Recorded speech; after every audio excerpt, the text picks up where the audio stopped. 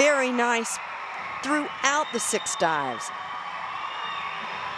Very nice.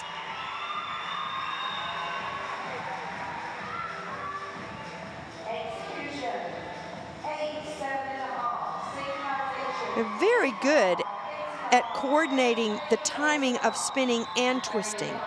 Very good at that.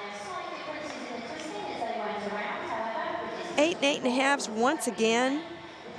Going to be real tough for any team to pull ahead of the Brits, even though the